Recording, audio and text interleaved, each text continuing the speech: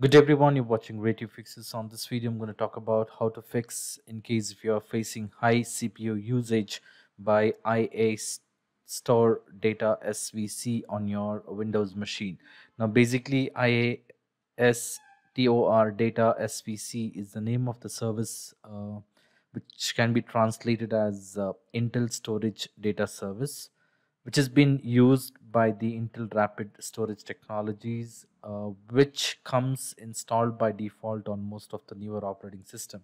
Now, because of this, this is an application which basically um, um, uses a high CPU usage. So there are a couple of things which you can try to get this uh, issue resolved.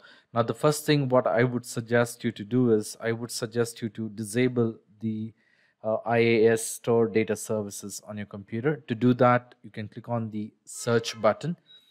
Once you're on the search, go ahead and type services.msc.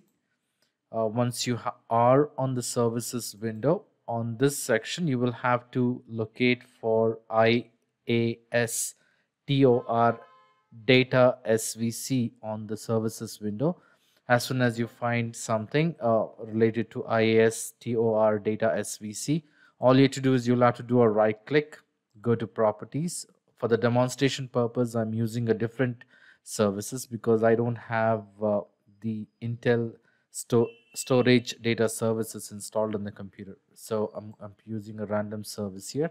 So you'll have to double uh, right click and go to properties. Once you're on the properties uh, what you can do is you can click on stop. And from the startup type you can go ahead and check uh, make sure it has been disabled click on apply and then click on ok so what this will do is that will disable the IAS store data SVC on your computer so that it doesn't use the, uh, use the high CPU in case um, if you're not comfortable and if you're still facing a problem with the high CPU usage with that particular service then the next thing what I would suggest you to do is to go ahead and uninstall the Intel storage data services. To do that what you will have to do is you will have to click on the search. And in the search you can go ahead and type appwiz.cpl this is nothing but a shortcut icon to open the programs and features window uh, it will have programs and features uh, window or, uh, or it will show up all the programs which are currently installed on the computer. So once you're on this window what you will have to do is you will have to look for intel storage device.